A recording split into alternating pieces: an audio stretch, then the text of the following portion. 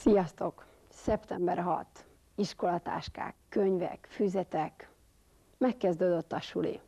Ez tök jó, de nem mindenkinek van ilyen pozitív véleménye az iskola kezdésről.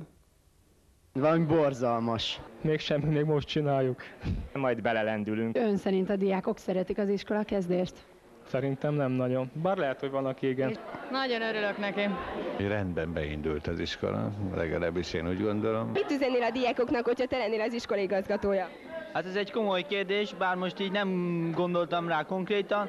Talán többet kéne tanulni, és többet kéne szórakozni. Tanuljanak keményen, de azért ne vigyék annyira túlzásba, meg sokat bulizzanak, meg szórakozzanak, és érezzék jól magukat. Tartsanak ki. Hogy követeljenek sok bulit. Milyen számodra az ideális tanár? Olyan nincs. Hát fiatal legyen, jól nézzen ki. Hát, rendes, ötöseket osztogat. Erre nem tudok válaszolni. Nem tanít, nem kell tanulni, többi nem lényeg. Tökéletes tanár valószínűleg nincs. Milyen szerinted a tanárok szemében a tökéletesen rossz diák? Na hát én ilyen, inkább kérdezzék a proksukat itt ott áll ilyen szürke ruhába, ő erről nagyon Szia! Szerinted milyen a tanárok szemében a tökéletesen rossz diák? A tökéletesen rossz diák. Hát itt egy minta példány. Olyan minden. Mi volt hozzátok az osztályfőnökötök első szava? Csönd legyen. Csönd legyen. Maradjatok csöndben. Mikor szándékozik az első dolgozatát megiratni? Egy hét múlva. Szerinted mikor válható az első dolgozat, felelet? Az első felet lehet, hogy következő héten, dolgozat nem tudom. Majd kiderül, lehet, hogy két hét múlva, ha erőbb dolgozat lesz. Két hét múlva, biztos. Mit tennél, hogyha holnap reggel, mikor iskolába jössz, zárva találnád az iskola kapuját? Hát mennék haza aludni. Kétségbe esnék. Sírnál is esetleg? Lehet. Nagyon hiányozna. Nemrég magyar-görög táncházban jártunk.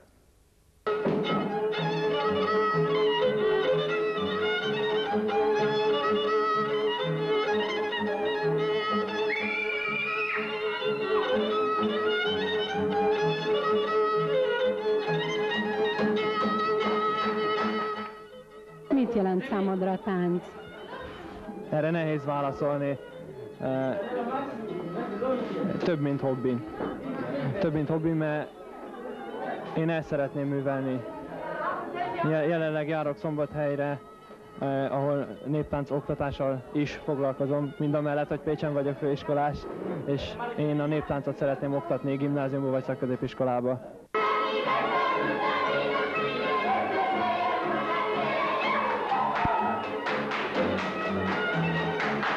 Most, hogy elkezdődik a suli, kevesebbet fogsz táncolni? Sajnos igen, ugyanis jelen pillanatban Pécsen nem található olyan együttes, ami a, ahova én el tudnék menni táncolni.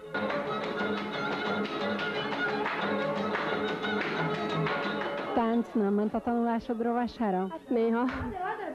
Elmaradt a tanulás, aztán maradt a tánc.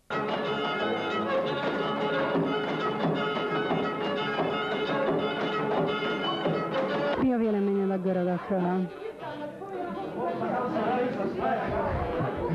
Egy teljesen más kultúrájú nép, mint mi.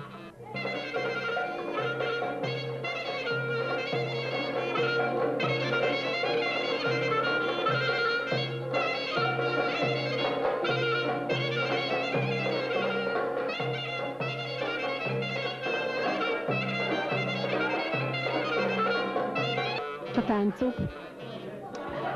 Hát ők ennél a megragadt a kultúrájuk ennél a balkáni körtáncoknál.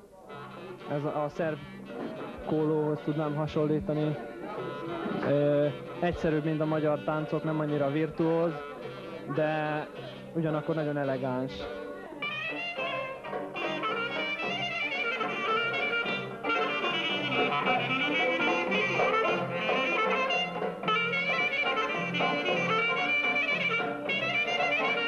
Nagyon tudnak bulizni.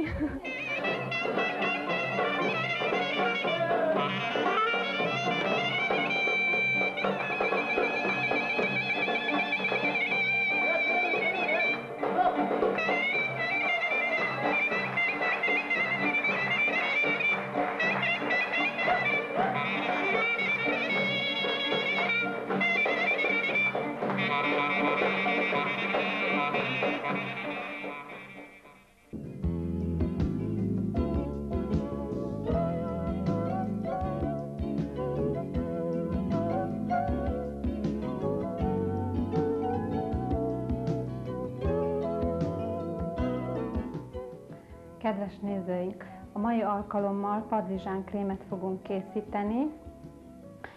Mi három padlizsánból készítjük, megmossuk a három padlizsánt, és feltesszük a gáztűzhelyre egy platnyira sülni.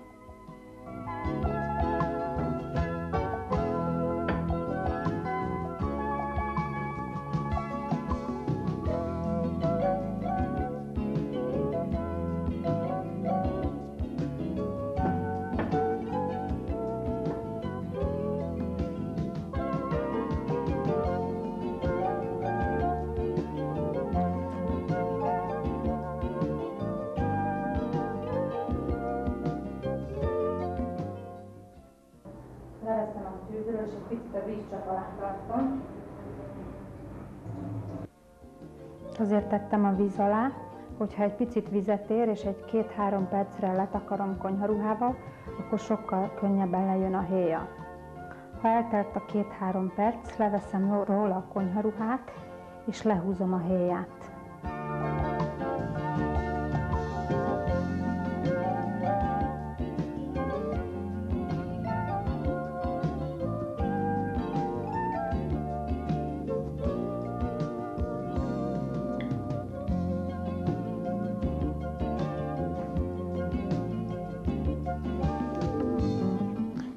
Megkóstolom, hogy jó legyen, mert hogyha nagyon csípős a magja, akkor azt ki kell szedni belőle, mert nem lesz finom.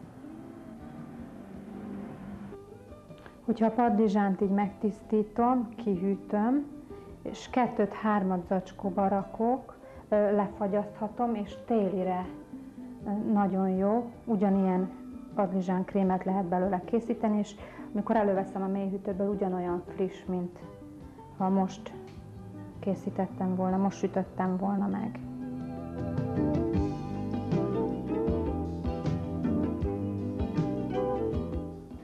Ha kész vagyok vele, akkor egy picit megtöröm villával.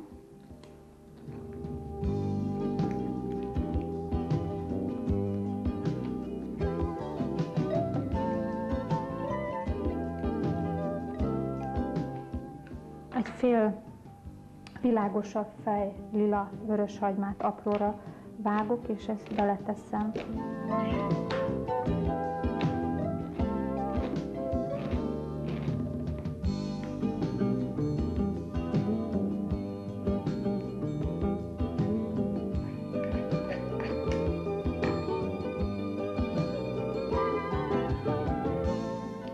Ízlés szerint sózom. Egy olyan 5-6 evőkanálnyi olajat adok hozzá.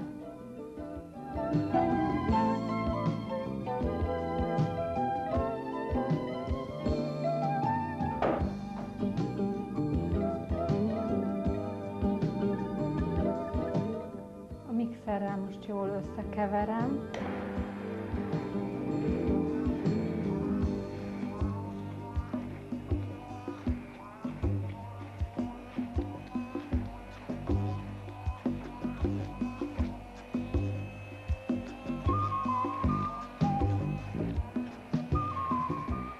Addig mixeltem, amíg olyan kifehéredett és olyan krémszerű álladék lett belőle, és a hagymadarabok is úgy el...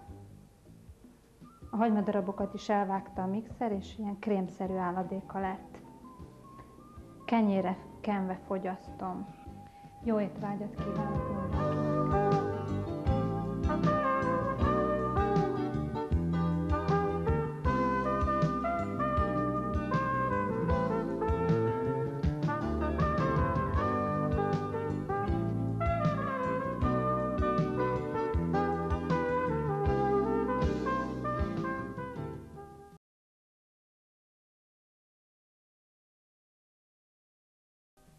Sziasztok! Gondolom észrevettétek, hogy nem csak az időjárás változott meg, hanem valami más is, amit úgy hívunk, hogy iskola.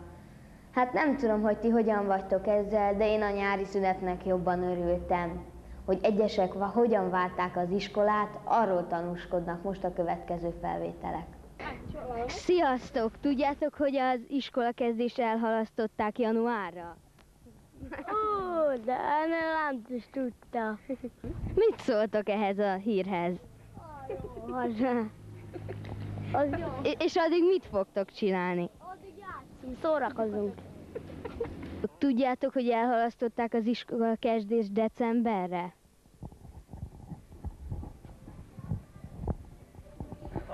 Na, tudjátok? Igen. Honnét tudjátok? Újságból, tévéből? Az, hogy most mondod. Hogy, hogy nem tudod a hírt? Hát,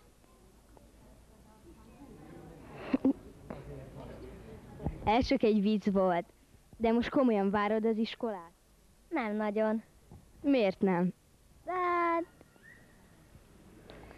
Nem tudom. Ez csak egy vicc volt, de most komolyan te várod az iskolát? Kicsit. Hát hogy, hogy? Pedig nem sokan várják az iskolát. Azért várom, hogy találkozhassak az osztálytársaimmal. És a tanulás? Hát azt nem nagyon várom. Köszi, szia!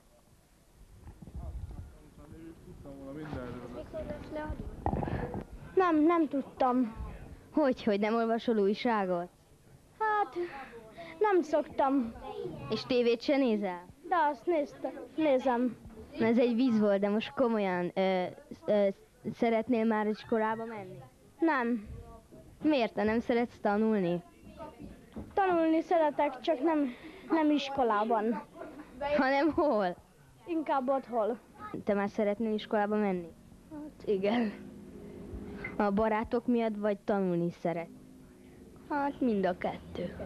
Nem, hogy, hogy nem tudod? Hogy, hogy, már nem hallottam. Senkitől, se barátaitól, senki? Senkitől. És te várod az iskolát? Miért nem? Tanárok olyan rosszak veled? Igen, meg nem is szeretek tanulni sem. Nem szeretsz tanulni, akkor mit csinálsz otthon? Játszok. Te szeretsz tanulni? Nem nagyon szigorú egy kicsit a tanárunk. És hányadik osztályos vagy? Ö, másodikos leszek. A kedvenc tantárgyad? Az ének. Hát miért te is Mit? És te szeretsz tanulni? Nem. Miért nem? Hát nem olyanok a tanárok. Biztosan ti is szeretitek a jó könyveket, szerettek olvasni. Most néhány érdekes könyvet mutatunk be. Napjainkban egyre drágábbak a könyvek, egyre kevesebb könyvet lehet megvásárolni az utcán, a boltokban. Ezért úgy gondolom, hogy a könyvtárba járás sokkal kifizetődőbb a számotokra, és a könyvtárak még egyelőre meg tudják venni a legújabb kiadványokat is. Ezek közül szeretnék nektek ajánlani néhány érdekeset. Először az alsós gyerekeknek ajánlanám Kölykök az állatkertben című könyvet, ami azért is érdekes, mert a Kanizsa kiadó első kiadványa. Nagyon sok állatot mutat be, érdekes leírásokat tartalmaz, nagyon szép képekkel. Megismerkedhettek olyan állatokkal, mint az óriáspanda, a rozmár, a tatu, a gepárd, a karcárnyú, delfin. Ez a könyv olyan fontos információkat is ad, amit használhattok a környezetórákon, illetve ha elmentek az állatkertbe, már egy-két eddig számotokra ismeretlen állatról szinte mindent előre tudhattok jó szórakozást az olvasásához. A felsős tanulóknak ajánlom Sohonyai Edith Tarkabab című könyvét. Különösen azoknak a figyelmét hívom erre a könyvre fel, akik szeretik a jó humort. A könyv szereplői természetesen gyerekek, kamaszodó fiúk, lányok. A helyszín egy kis falu, a második világháború utáni életről szól tulajdonképpen a könyv. A faluban szokás az, hogy nem tartanak össze az emberek, négy csoportba szerveződnek, ezáltal a gyerekeik is ilyen kis csoportokat, klikkeket alkotnak, és ellenségeskednek egymással. Viszont nem olyan durván, mint a felnőttek, hanem humoros megoldásokat találnak, hogy kivel, hogy szúrjanak ki. Jó pofa gyerekcsínyekkel van tele, ugyanakkor a felnőttek életmódjával is megismertet bennünket ez a könyv. Azért, hogy kedvet csináljak, és mutassam a humor részét a könyvnek, egy helyes kis részletet szeretnék felolvasni belőle. Simonka sógor már megint nagyon elemiben van, mesélte Jóska. Ahogy gyűjtem el a házuk előtt, köszöntem neki illendően, erre nekem ugrott, hogy agyonver. Mindenáron rám akarta fogni, hogy én vagyok az Okker Sanyi. Mondtam néki, Simon kabátyám, ne beszéljen, mert úgy beleverem az ágyba, hogy nem kell ki többé. Semmi se változott bárányjáráson, ennek azért örülök. A felsős fiúknak ajánlanám, és azoknak a lányoknak a Bolygók és az űrkutatás című könyvet, ami a Mi Micsoda sorozat egyik könyve, akik szeretnek foglalkozni az űrrel, az űrhajózással, akiket érdekel a bolygók története, akik kíváncsiak arra, hogy melyik bolygót kifedezte fel, és biztos, hogy mindenkit foglalkoztat az a, az elképzelés, hogy máshol, valahol tőlünk távolabb is lehet civilizált világ, és hogy mi annak a valószínűsége, hogy mi ezt konkrétan egyszer megtudjuk, azt a könyvből esetleg megtudhatjátok. Arról is szó kerül a könyvbe, hogy milyen űrutazásokra kerül sor hamarosan a 2000-es év környékén. Jó szórakozást a könyvekhez! Az ifjúsági és gyermekkönyvtárban ezek a szép új könyvek mind megtalálhatók, keressétek őket!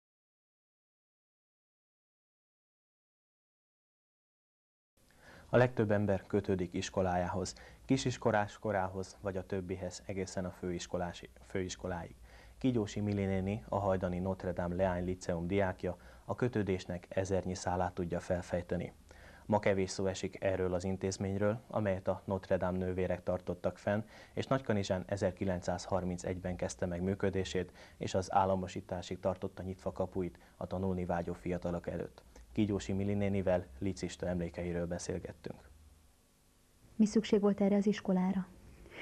Azért volt rá szükség, mert a Piarista Fiú Gimnáziumban a lányok csak magántanulóként tanulhattak. Nagyon költséges volt a szülőknek, mert a magántanulás az drágább volt, mint hogyha valaki rendes nappali hallgató volt, és a szülőknek magán, vagy az intézetben töltött időkre tanárt kellett fogadni, aki a lányokra vigyázott.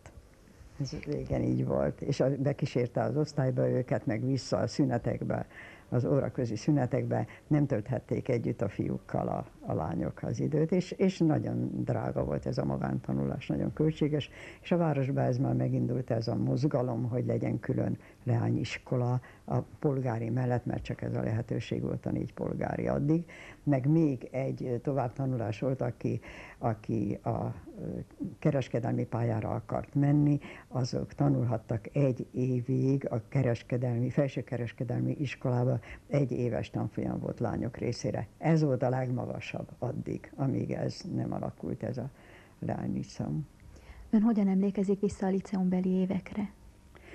Hát nagyon jó volt, kellemes volt, nagyon kevesen jártunk. Az osztály létszámok azok, azok nagyon hihetetlenül. Tíz volt fölöttünk, aki érettségizett, talán három vagy négy évvel tíz lány volt. A, másik osztályban sem voltak nagyon sokan. A mi osztályunk volt talán 22-vel az egyik legnépesebb osztály akkor. Párhuzamos osztályról szó sem volt. Egy osztályt alig tudtak megtölteni, mert a tandíj az drága volt, az sok volt akkor, 16 pengő, és az nagyon nagy pénz volt, egy hónapra a tandíj, meg beiratkozási díj is volt, és kellett még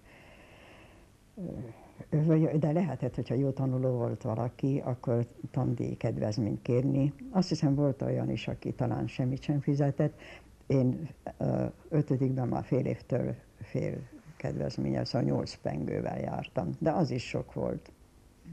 Milyen színvonala volt az iskolának, az oktatásnak? Nagyon jó színvonala volt a tanáraink, akik a, nálunk akkor ugye óraadó helyettes tanárokként szerepeltek, az volt bent a ami értesítőben, meg általában abban az időben minden értesítőben nagyon nehezen tudták kinevezni őket, és minden tanár nagyon jól képzelt volt, és igyekezett, hogy, hogy ő valaha rendes kinevezett tanár lehessen óraadóból.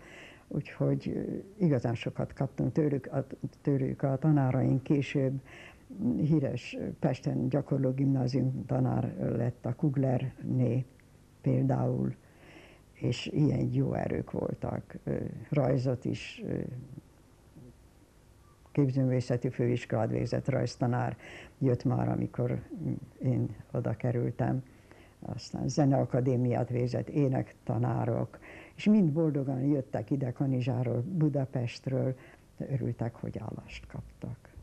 Az iskolát a Notre Dame nővérek tartották fenn? Notre Dame nővérek tartották, ők is jó erők voltak, ők is mind kiváló tanárok voltak, és azok az erők, és a piarista tanárokból is voltak óraadó tanáraink, még mindig, mikor én is jártam. Milyen lehetőségek voltak a szórakozásra? Semmi. Minden tilos volt.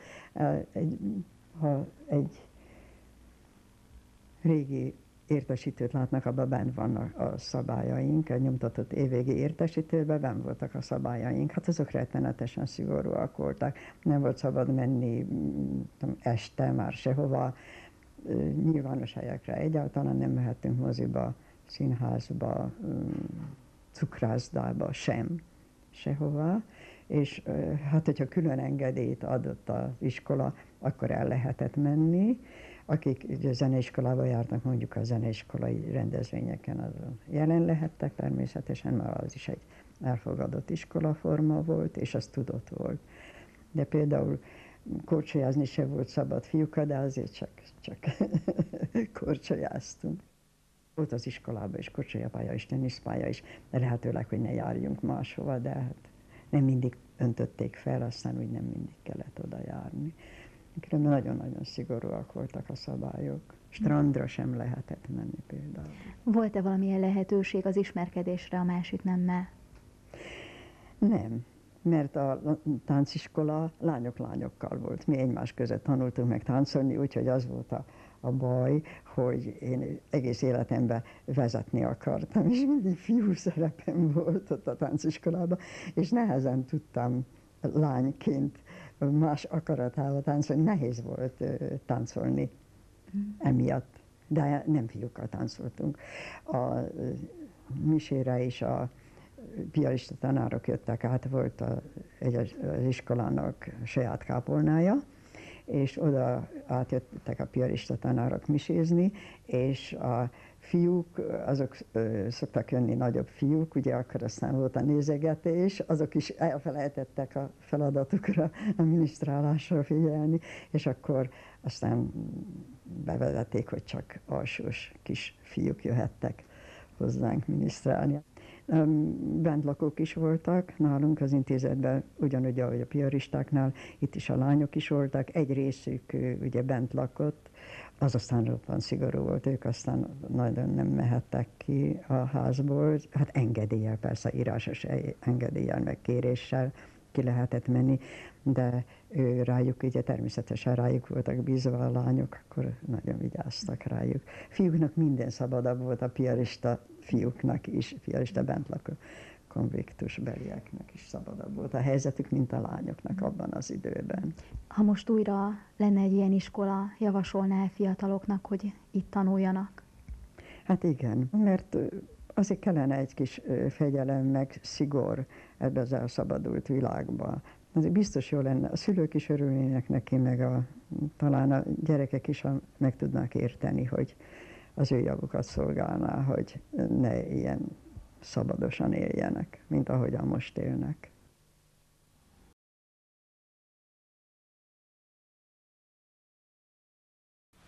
Az idegenforgalmi honismeret gazdasági és szórakoztató rendezvények mellett a Nagykanizsai Református Gyülekezetért Alapítvány és a gyülekezet presbitériuma is rendezvénysorozattal emlékezett meg a város jubileumáról.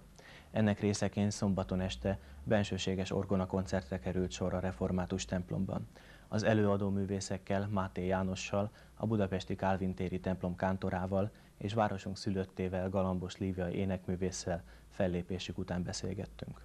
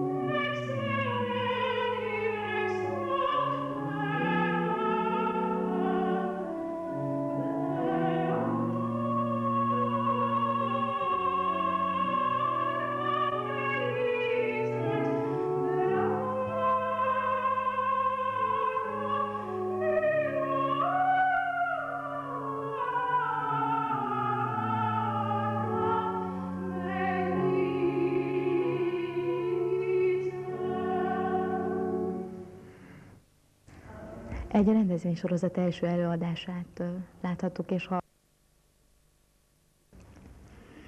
Körülbelül egy évvel ezelőtt találkoztam Budapesten a nagy tisztető úrral, és mondta, hogy készül egy ilyen rendezvénysorozat itt a templomban, és megkérdezte, hogy elvállalnám-e. Természetesen szívesen elvállaltam, és később egyeztettük az időpontot. Budapesten él. Igen, Budapesten, helyesebben Rákospalotán, és ott vagyok orgonista a Kálvin téri református templomba, és a Károly Gáspár Református Egyetem himnológiai tanszékét vezetem. Mit jelent az, hogy himnológiai tanszék? Himnológia az egyházi zenével foglalkozó tudomány, és a leendő lelkészeket, leendő hitoktatókat tanítjuk énekre, zenére és az énekléssel, zenével kapcsolatos mindenféle egyéb tudnivalókra. Mire megerőltető ez a munka?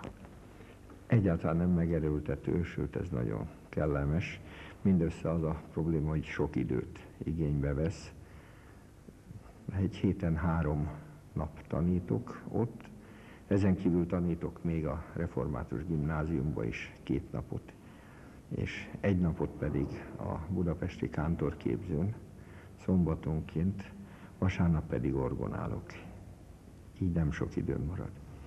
Hogyan került kapcsolatba a hangszerek királynőjével? Egy kartörés következtében. Még gimnazista voltam, zongorázni tanultam már, és eltörött a karom, rohantam a villamos után, elestem, eltörött a karom, és bementem a legközelebbi mentő állomásra, és ott egy olyan orvos volt, aki nagyon szerette az orgona zenét, és ő beszélt rá, hogy ha összeforra a karom, akkor kezdjek el orgonálni, tanulni. És így aztán óriási pályát futott be. Igen, hát ennek már jó pár éve, és így kerültem aztán 1950-ben volt ez, azóta foglalkozom orgonával. És a hölgy mikor kezdte az éneklést? Ó, hát elég fiatalon, itt Nagykanizsán, Szentendrei Zsuzsannánál, azt hiszem 15 vagy 16 éves voltam. Persze olyankor az énektanulás még nem olyan, mint később. Aztán utána Szombathelyen folytattam, majd Budapesten a Zeneművészeti Főiskola tanárképző tagozatán, és tavaly diplomáztam. És most mit csinál? Fönt élek Budapesten, tovább tanulok, az mellett tanítok, és énekelek koncerteken. Szóval van mire készülni. Érzett egy, egy kis nosztalgiát, amikor hazajött? Ó, hát én nagyon sokat éneklek itthon, úgyhogy megszoktam. Uh, nyáron, júliusban volt utoljára itthon egy koncertem, aztán volt egy kis kényszerszünet, mert mandula műtéten estem át, úgyhogy azóta ez az első, hogy újra énekeltem. Mennyit kell gyakorolni egy ilyen előadásra? Hát az ember nem úgy van, hogy az előadásra gyakorol, állandóan gyakorol, egy énekesnek minden nap kell ugyanúgy tréningezni, mint hát bármi más hangszeres művésznek, napi több órát. Milyen műveket szokott énekelni? Hát én általában az opera irodalomból éneklek, főként áriákat, de természetesen voltak már ilyen egyházzenei koncertek, amin szerepeltem, illetve önálló egyházzenei koncertek itt Nagykanizsán volt, azt hiszem négy évvel ezelőtt, de ez az első alkalom, hogy itt a református templomba alkalom adatot, hogy énekeljek. Lelkészünk Balog Tibor már évek óta kér, hogy énekeljek itt, de összejött végre.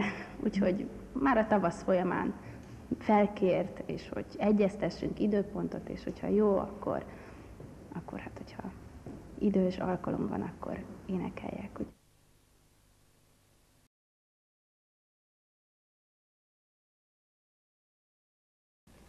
Szervusztok gyerekek! Japán az ős hazája az origaminak, vagyis a papírhajtogatásnak. Világszerte gyerekek és felnőttek ezreinek vált kedvenc hobbijává. Nagyon sok érdekes formát hajtogathattok, az egyszerű papírrepülőtől kezdve az egészen bonyolult hajtogatású dinoszauruszokig. Kezdjük legelőször egy nagyon egyszerű formátumú papírszív készítésével. Vedd a kezedbe a háromszög alakra elvágott papírodat. Hajtogassunk először egy nagyon egyszerű papírszívet. A négyzet alakú papírlapodból egy háromszöget tudsz vágni, miután átlósan összehajtottad. Ezt látjátok a kezembe. Hajtsuk meg még egyszer egy kisebb méretű szalvétának. Olyan, mint egy szép színes háztető. A háztető sarkát a papír aljáig lehajtjuk.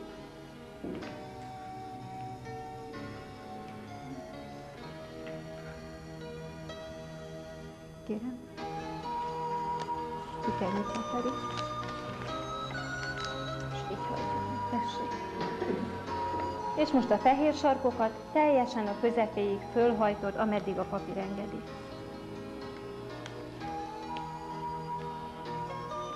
Fontos, hogy jól élezd meg hajtogatás közben, akkor lesz szép a formád.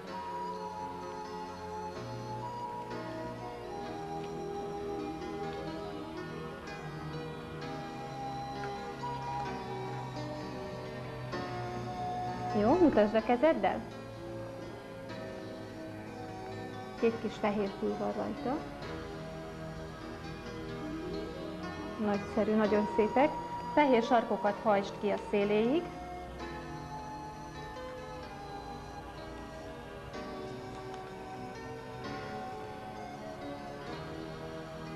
Ilyennek kell lenni.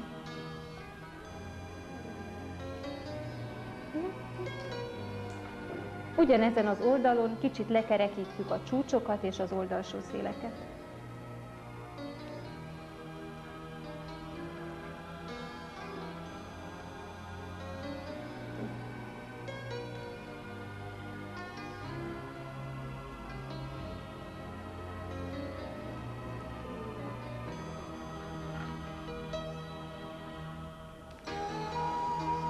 Ha megfordítod, íme kész a papírszív. Jó. Sikerült, szép lett. Segítek egy kicsit, Feri. Hogy mi mindent készíthetünk egy ilyen egyszerű szív hajtogatásával, álljon előttetek néhány példa, de saját fantáziátokkal tovább bővíthetitek még a lehetőségeket.